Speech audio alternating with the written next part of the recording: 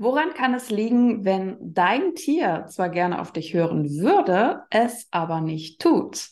In dieser Podcast-Episode erfährst du drei Gründe dafür und natürlich, was du tun kannst, damit du und dein Tier einen gemeinsamen Weg geht. Seite an Seite, der Podcast für dich und dein Tier. Herzlich willkommen zu einer neuen Episode, sowohl an alle, die auf den klassischen Podcast-Kanälen zuhören oder vielleicht auch in unserer Seelenfreunde Tier-App, als auch natürlich alle auf YouTube. Auf YouTube ist unser Kanal in letzter Zeit gewachsen. Also vielleicht sind auch ganz neue Menschen hier dabei, die jetzt gerade zuschauen, zuhören. Also herzlich willkommen an euch alle.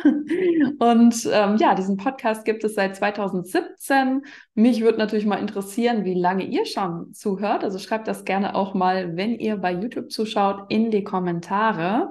Und ja, ich würde mich natürlich freuen, wenn wir noch mehr Abonnenten bekommen, sowohl für den Podcast als auch auf unserem YouTube-Kanal. Also gern einfach mal ähm, das Ganze abonnieren, wenn dich unsere Inhalte interessieren. Denn ja, wir sind daran interessiert, einfach noch mehr Menschen zu erreichen rund um Tierthemen. Aber lass uns jetzt einfach mal starten. Ähm, hast du ein Tier, was du sehr liebst und du möchtest ohne großen Druck, ohne Dominanzgehabe mit deinem Tier umgehen. Und trotzdem hast du das Gefühl, hm, mein Tier hört nicht so wirklich auf mich. Um, ähm, das wollen wir uns in dieser Episode mal näher angucken. Woran kann das liegen? Wir haben ja einerseits oftmals so im klassischen, vor allem Hundetraining, Pferdetraining, diese Ansicht, ja, du musst mit Dominanz dran gehen und es muss immer so sein, du musst dich über dein Tier stellen, du musst es besser wissen als dein Tier. Dein Tier hat dir zu gehorchen und wenn dein Tier nicht das tut, was du gerne hättest, dann will dein Tier dich vielleicht austesten, ähm, zweifelt deine Autorität an und ähm, du musst dich da auf jeden Fall durchsetzen. Wir bei Animal Creation haben da einen anderen Ansatz. Denn was wäre, wenn dein Tier tatsächlich immer mit dir gemeinsam kreieren möchte, mit dir gemeinsam euren Alltag bestreiten möchte und eigentlich auch daran interessiert ist, die Freundschaft zu dir zu halten. Aber dass in diesen Momenten, wo zum Beispiel dein Hund immer wieder an der Leine zieht, obwohl ihr das vielleicht schon ganz viel trainiert habt ähm, wo es Probleme gibt bei Hundebegegnungen, wo dein Pferd vielleicht aggressiv wird in bestimmten Situationen oder auch deine Katze zum Beispiel in die Wohnung markiert oder sich ganz anders verhält, als du es dir wünschst. Was, wenn all diese Momente eine Art der Kommunikation ist, die dein Tier mit dir hat. Dass dein Tier dir etwas mitteilen möchte oder dass etwas noch nicht so funktioniert, wie es für euch beide passt, dass vielleicht auch ein Bedürfnis deines Tiers nicht erfüllt ist und dass es nicht dann darum geht, in diesen Momenten mal zu zeigen, wer hier der Boss ist, sondern eigentlich, dass du ganz anders an die Sache herangehen könntest. Und wir schauen uns drei Themen an in diesem Podcast und was du da machen kannst. Was wäre, wenn du einfach für diesen Podcast, ähm, für diese Episode und gerne auch weit darüber hinaus mal davon ausgehst, dein Tier ist dein Freund. Dein Tier ist nicht jemand, den man die ganze Zeit erziehen muss. Natürlich gibt es Training und das kann man auch machen, ist auch alles gut. Aber was, wenn es nicht darum geht, ich muss die ganze Zeit mein Tier kontrollieren, sondern wenn du mehr danach fragen kannst, wie können wir unseren Alltag so gestalten, dass er für uns beide passt? Dass ich natürlich genau auch mal Nein sagen kann, wenn mir etwas nicht passt, dass ich auch gewisse Regeln setzen darf. Natürlich. Es geht nicht darum, dass dein Tier dir auf der Nase herumtanzt. Aber was, wenn es wie in jeder Freundschaft ist? Jede Freundschaft hat gewisse Regeln, an die man sich halten darf. Und wenn einer die bricht, dann muss man halt schauen, was man jetzt damit macht. Mm, ja, und wenn du es eigentlich auf, auf dieser Ebene siehst, du bist mit drin in der Beziehung zu deinem Tier und dein Tier ist mit drin und ihr dürft einfach mal schauen, wie passt es für euch beide. Wenn du mit der Haltung da dran gehst, an das, was ich dir jetzt als nächstes sage, dann kann es vielleicht sein, dass du es sehr viel leichter aufnehmen kannst und dass ja, das für dich und dein Tier auch einfach einfacher wird im Alltag. Okay, lass uns mal starten. Was ist der erste Punkt? Wenn du mal davon ausgehst, dein Tier möchte eigentlich gar nicht gegen dich gehen, aber es kann es vielleicht gerade nicht anders. Das erste Thema, der erste Punkt ist unklare Kommunikation. Die Frage, weiß dein Tier überhaupt wirklich, was du von ihm möchtest?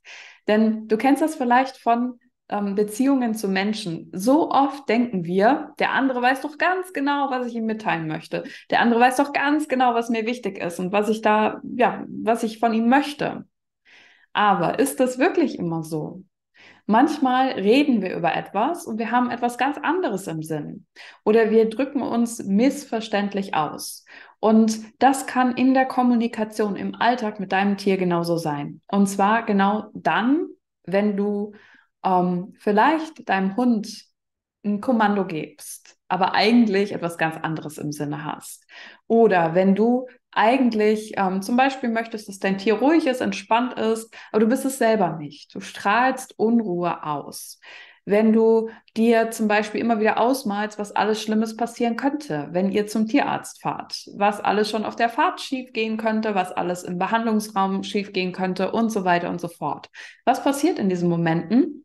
Du strahlst zwei verschiedene Botschaften aus. Einerseits sagst du vielleicht deinem Tier, ist doch alles gut, aber dein Tier merkt schon in der Stimme, hm, so ganz ernst meint sie oder er es nicht. Denn da ist noch eine andere Botschaft, zum Beispiel, oh, das wird gleich wieder so, sowieso wieder schief gehen. Wenn zum Beispiel da schon die Geschichte der Hintergrund ist, dass ihr immer mal wieder bei Hundebegegnungen mit bestimmten Hunden Probleme habt. Wie oft hast du dann schon im Kopf dieses feste Bild, oh, jetzt wird es gleich wieder problematisch. Oder jetzt, wenn wir Besuch bekommen, mein Hund wird sowieso wieder ausrasten.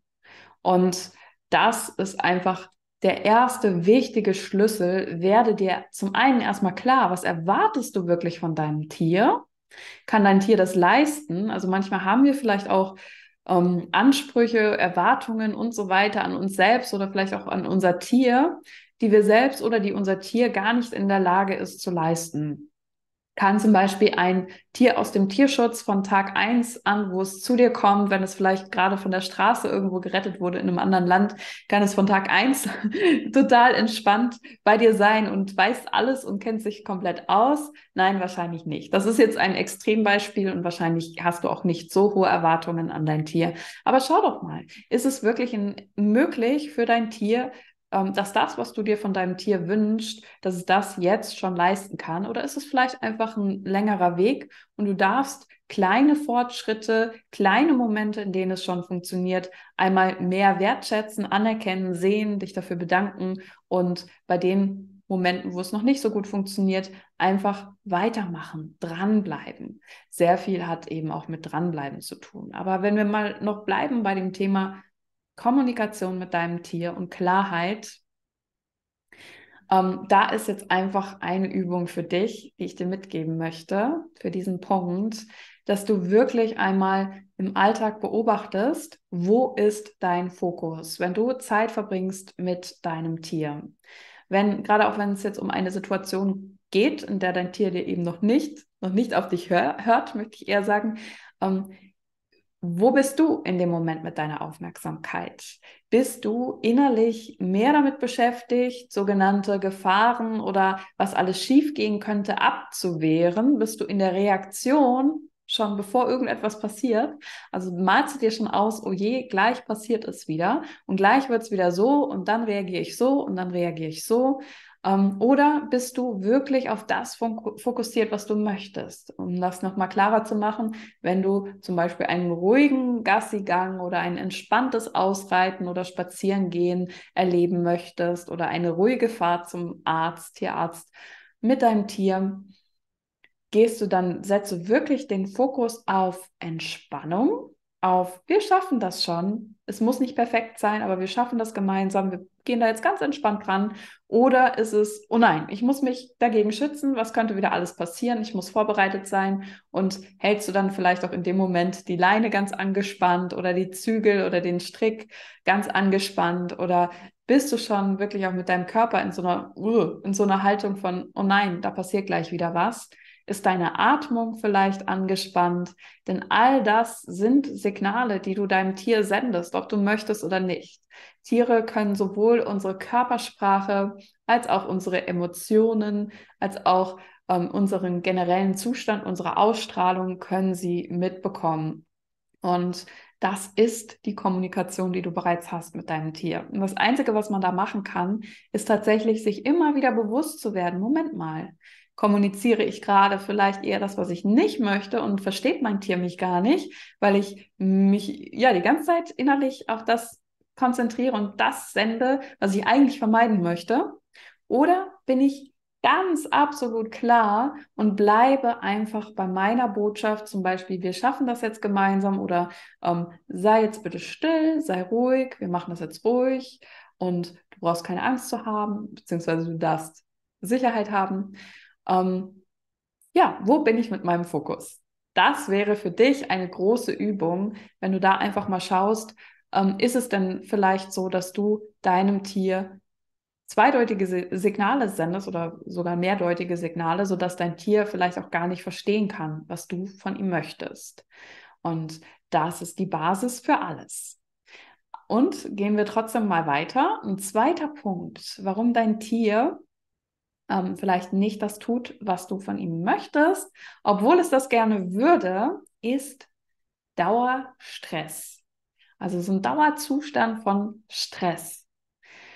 Ähm, das ist ein Dauerreaktionsmodus. Wenn wir da mal auf den, auf den Bereich Nervensystem gehen, wenn du selbst oder dein Tier in einem Dauerzustand von Stress sind, von ich muss auf Reize, die im Außen sind, muss ich reagieren. Alles ist für mich relevant. Es gibt viele Tiere, mit denen wir arbeiten, die halt sehr, sehr viel mitbekommen und die irgendwann mal abgespeichert haben, vor allem Hunde oft, ich muss mich hier um alles kümmern. Ich muss alles, was da ist, ob da ein Reh langläuft oder ob da andere Menschen kommen, ich muss mich um alles selbst kümmern und alles ist hier relevant und ich kann nicht einfach sagen, okay, das gebe ich mal ab an meinen Menschen oder ach, das, ja, da hinten läuft jemand, aber das ist für uns vollkommen irrelevant. Ähm, es ist so ein Dauerzustand von, ich muss reagieren können. Und das ist im Nervensystem meist eben diese drei Zustände, die wir kennen. Das ist Einfrieren, so von wegen, ich mache mich unsichtbar, wenn ich sozusagen erstarre, wenn ich einfriere und mich totstelle, in Anführungsstrichen. Das ist, wenn der Körper angespannt ist und wenn man aber auch vielleicht wie so ein bisschen gelähmt ist, dann ähm, lasse ich einfach die Dinge über mich ergehen, die da gerade passieren. Und dann wird mir hoffentlich nichts Schlimmeres passieren. Das kann aber auch der Reflex sein, wegrennen zu wollen, Flucht. Also einfach wegrennen, dann kann mich ja auch keiner mehr äh, packen, dann kann mir nichts passieren. Und es ist auch die dritte Möglichkeit, diesen Zustand, den wir dann haben, ist Angriff. Angriff ist die beste Verteidigung. Vielleicht kannst du auch mal schauen bei deinem Tier, welche dieser drei Reaktionen dein Tier meist zeigt. Und in, dieser, in diesem Zustand sind wir nicht in der Lage, wirklich zuzuhören. Also wenn dein Tier, aus welchem Grund auch immer, in einem Zustand ist, wo sein Nervensystem schnell überlastet ist, schnell gestresst ist, dann ist es, wenn es in diesem Zustand ist, nicht in der Lage, besonders gut von dir etwas zu hören. Also es hört dich natürlich schon, wenn du etwas sagst, aber es kann deine Signale nicht richtig umsetzen. Es ist in einem Alarmzustand und es ist nicht in der Lage, ähm, was Neues dazu zu lernen oder wirklich deine Info zum Beispiel, hey, alles gut, du kannst dich entspannen. Das kann es in dem Moment nicht annehmen. Das ist so wie, hey, hier ist doch gerade irgendwas ganz Schlimmes. Ähm, wieso hörst du denn nicht auf mich? Ich kann, ich kann dir jetzt nicht zuhören, denn ich muss mich ja hier um diese Sache kümmern, die so schlimm ist. Es kann sein, ähm, also wie, wie kann es überhaupt dazu kommen, dass dein Tier in so einem Dauerstressmodus ist? Es kann zum einen natürlich sein, wenn du selbst sehr viel gestresst bist, wenn du vielleicht eine Arbeit hast, die dich sehr herausfordert. Das muss ja noch nicht mal was Schlimmes sein oder was Traumatisches sein.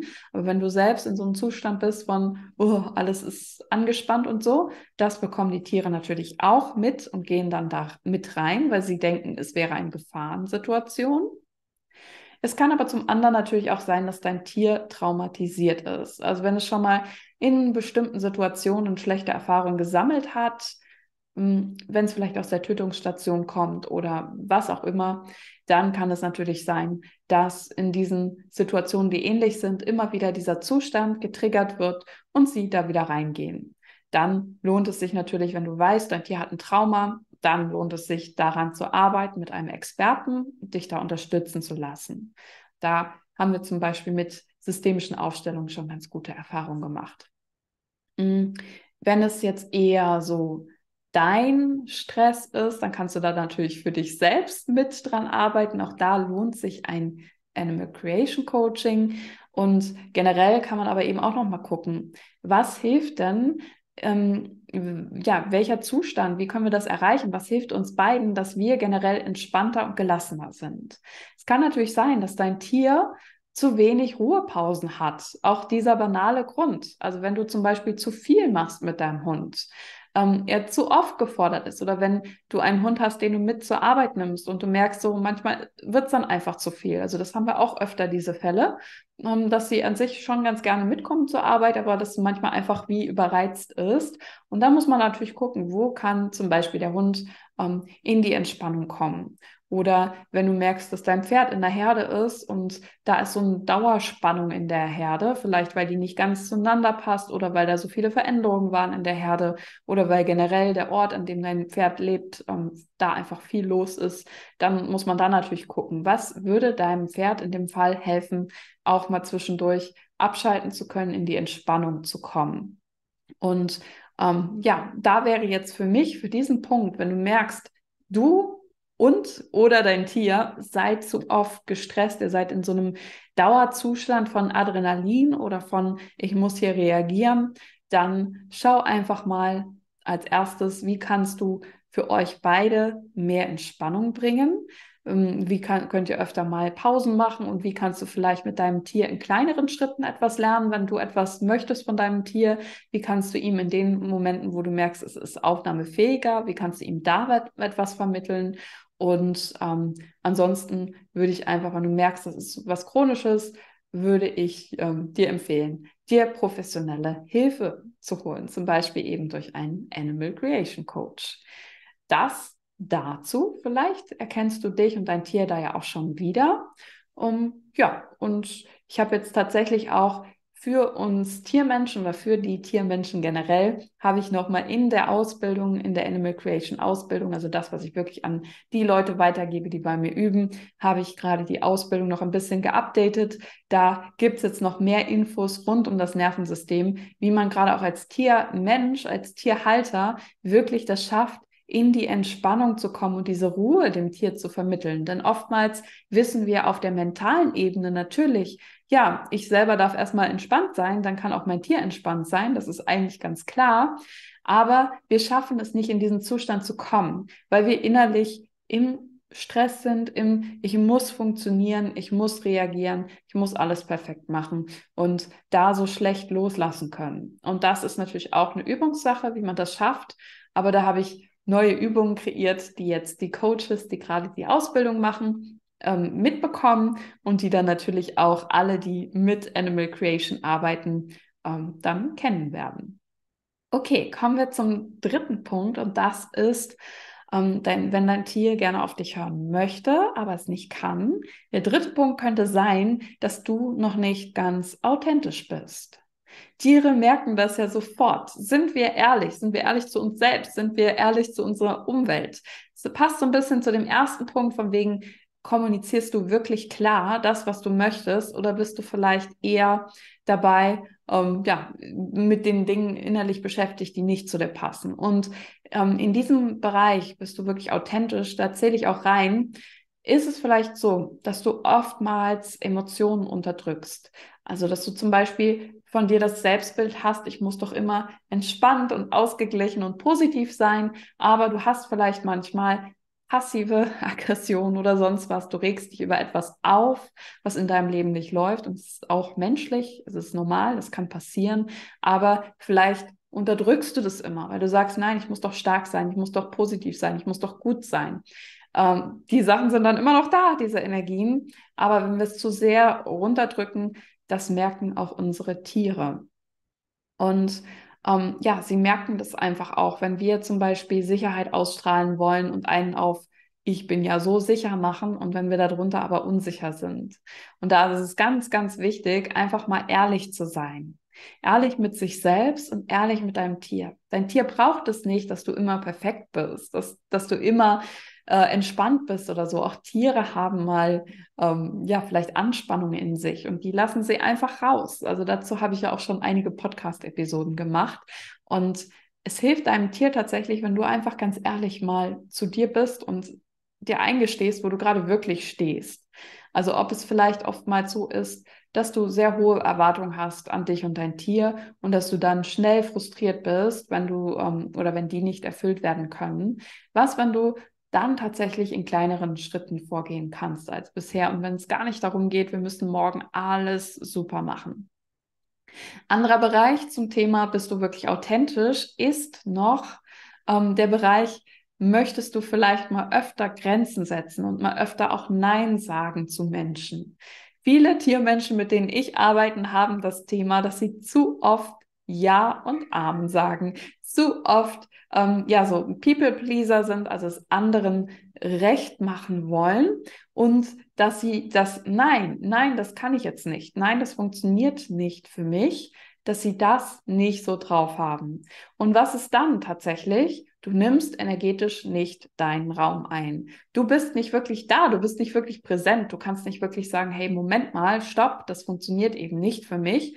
Und das nimmt auch dein Tier wahr. Und tatsächlich ist das eine Quelle dafür, warum dein Tier dich vielleicht nicht in Anführungsstrichen ernst nimmt, wie es oft so gesagt wird.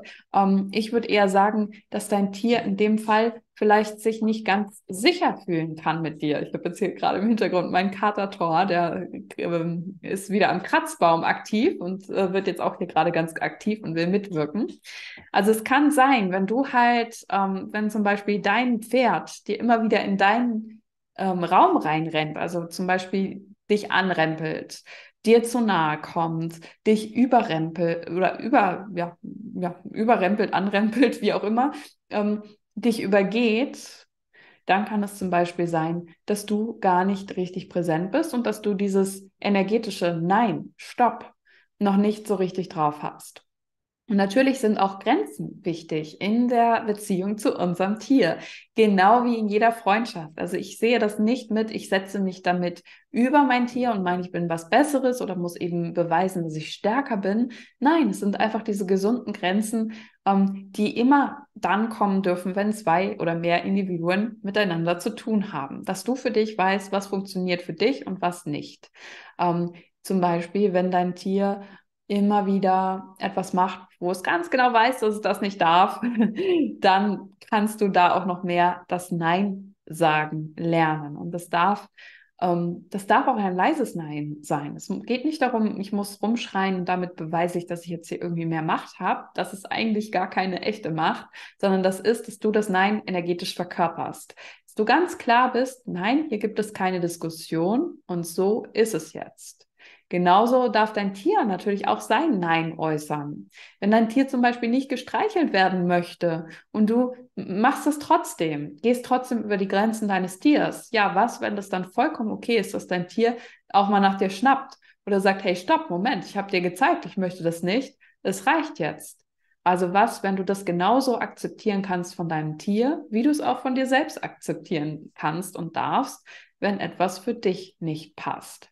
Mm, und dieser Bereich, also da merken Tiere einfach, wenn wir zu oft Ja sagen oder uns nicht sicher sind oder eben ähm, erlauben, dass andere sozusagen auf uns herumtrampeln energetisch. Und dann fangen sie teilweise auch damit an und zeigen uns einfach, hey, du hast ja gar keine Grenze. Du kommunizierst mir vielleicht Nein, aber du meinst nicht wirklich Nein. Wieso soll ich dann darauf hören? Noch mehr dazu, zu diesem Thema, wie schaffst du das Nein zu sagen, kannst du bei uns in unserem ersten Buch Animal Creation nachlesen. Da habe ich das mal anhand meiner Katzen beschrieben und natürlich auch eine kleine Übung für dich, wie du das Nein sagen lernst. In allen Lebensbereichen, nicht nur mit deinem Tier. Also schau da ruhig mal rein in das Buch, wenn dich das interessiert, wenn du noch mehr darüber erfahren möchtest.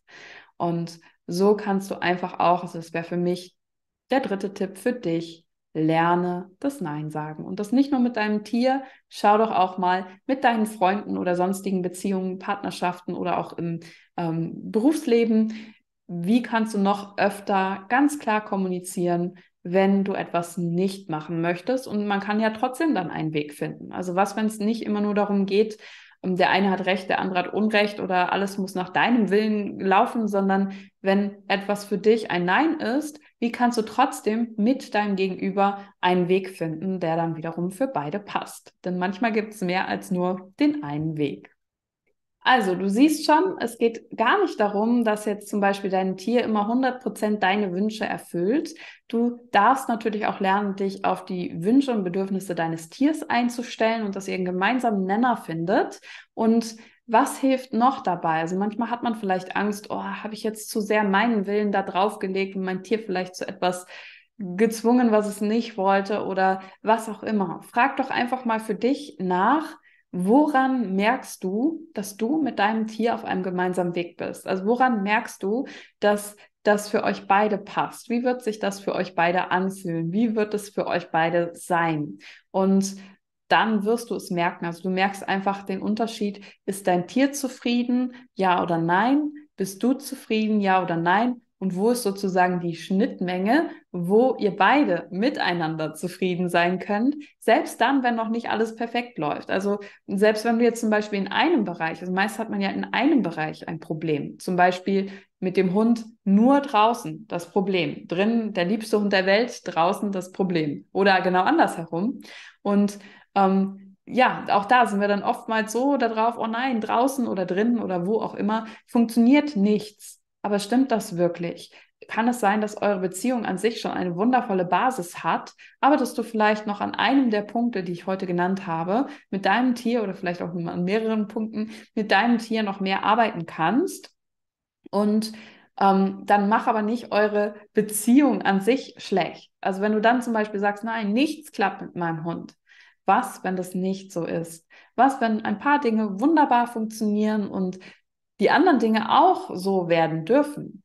Auch so dieses Gefühl von Gemeinsamkeit, Verbundenheit. Du lässt dich noch mehr auf dein Tier ein und auf das, was es dir mitteilen möchte, um, ohne dein Tier zu verurteilen oder dich selbst zu verurteilen. Und dein Tier hat auch die Möglichkeit, sich noch mehr an dir zu orientieren. Und da kann ich auch immer nur wiederholen, ähm, die Tiere folgen uns gerne dann, wenn wir das, was wir ihnen vermitteln wollen, wenn wir das wirklich leben. Das heißt, es kann sein, dass du erstmal ein paar Wochen oder Monate trainieren darfst für dich persönlich. Wie kann ich gelassen bleiben in jeder Situation? Und dass dein Tier nicht beim ersten Mal, wenn du gelassen bist, komplett sich anders verhält, sondern dass dein Tier dich eine Weile einfach mal beobachtet und wissen möchte oder herausfinden möchte, ob du das wirklich ernst meinst, ob du bei dem bleibst und es wirklich verkörperst und verinnerlichst oder ähm, was mit dir ist. Also da wäre mein allerletzter Tipp, fokussiere dich nicht zu sehr darauf, was dein Tier macht oder nicht macht, sondern schau eher, ist jetzt in der Art und Weise, wie, uns, wie wir unsere Beziehung leben, Passt das für uns beide und können wir diesen Weg noch mehr stärken? Kann ich mir selbst dann noch mehr vertrauen und meinem Tier auch Vertrauen gegenüber entgegenkommen lassen? Oder muss hier generell noch was verändert werden, sodass es für uns beide besser passt? Ich wünsche dir ganz viel Freude dabei auf deinem Weg mit deinem Tier und ja, ich würde einfach sagen, bis zum nächsten Mal und dann wird es wieder ein anderes spannendes Thema geben. Hat dir die Episode gefallen? Um nichts mehr zu verpassen, abonniere gerne diesen Kanal. Wie das geht, erfährst du in der Infobox. Weitere Gratis-Inhalte gibt es auch in unserer Seelenfreunde Tier-App, die du ab jetzt in allen App Stores findest.